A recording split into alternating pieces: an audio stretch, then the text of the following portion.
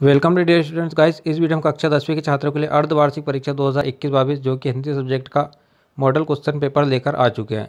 Guys अगर आप इतने क्वेश्चन को कर लोगे तो डेफिनेटली एग्ज़ाम में अच्छा स्कोर कर पाओगे, क्योंकि एक्सपर्ट के द्वारा सजेस्ट किए गए मोस्ट इंपॉर्टेंट क्वेश्चन होने वाले हैं। तो यहाँ पर गाइस सबसे पहले जो निर्देश दिए गए आपको इसे ध्यान से पढ़ देना है।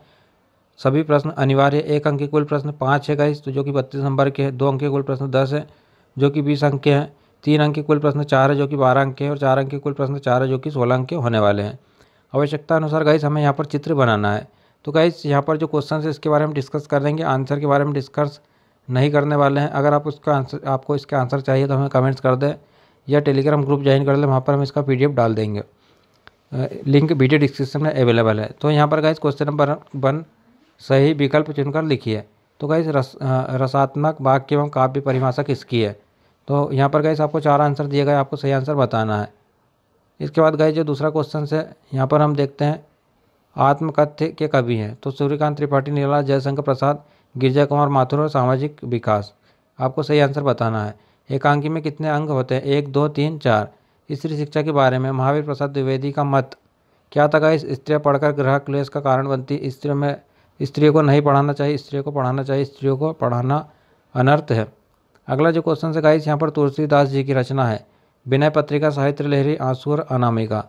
अगला गाइस, यहाँ पर काव्य की शोभा बढ़ाने वाले धर्म, तत्व क्या कहलाते हैं? द्वंद्व में, दिगु में तत्पुरुष में और कर्मधारा में। अगला है रिक्त स्थानों की पूर्ति करेगा इस पंचपट्टी खालिस्तान समाज का उदाहरण है। आभा फागुन की खालिस्तान है, कामायनी एक खालिस्तान है, फिर मन्नू भंडारी के पिता रसोई को खालिस्तान कहते थे शाहबादी के कवि खालिस्तान है। फिर गाइस, यहाँ पर हमें सही जोड़ी बताना जो कि मोस्ट इंपॉर्टेंट सही जोड़ी है गाइस यहाँ पर। श्रृंगार रस, बाल गोविंद भगत, क्रिया में सहायक क्रिया, दिल्ली में सब कुछ था परंतु और छाए मत छूना। तो गाइस मन को मन होगा, दुख दुना, फिर नाक नहीं होती, संयुक्त क्रिया कबीरपंथी और रति स्थायी भाव। तो आपको यहाँ पर अपने अकॉर्डिंग गाइस इसके आंसर्स देख लेने हैं।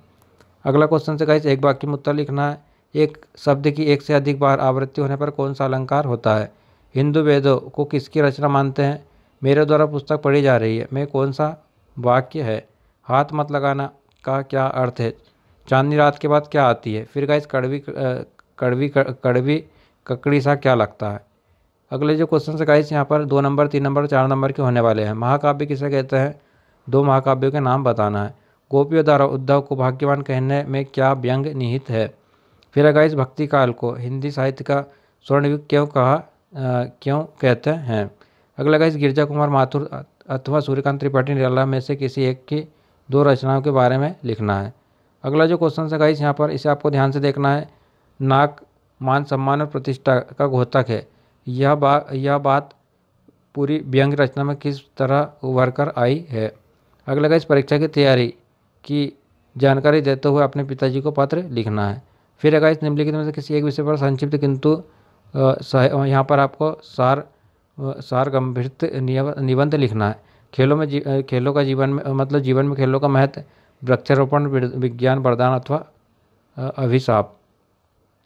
तो इस तरीके से गाइस हमने आपको जो हिंदी सब्जेक्ट का पेपर है कक्षा दसवीं के लिए कंप्लीट मॉडल क्वेश्चन पेपर बता दिया है। उम्मीद करते हैं आपको वीडियो पसंद आया होगा। और गाइस अगर आप इसके सॉल्यूशन चाहते हो तो टेलीग्राम ग्रुप ज्वाइन कर लेना। यहाँ पर इसके ये सॉल्यूशन भी उपलब्ध रहेंगे। इस तरीके से आप देख सकते हो गाइस सही जोड़े के ये रहे सॉल्यूशन इसके सॉल्यूशन में आपको उपलब्ध करा देंगे। तो इस वीडियो में इतना ही गाइस चैनल को सब्सक्राइब करके बेल आइकन ज़रूर दबा लेना। वीडियो डिस्क्रिप्शन में वेबसाइट का लिंक है।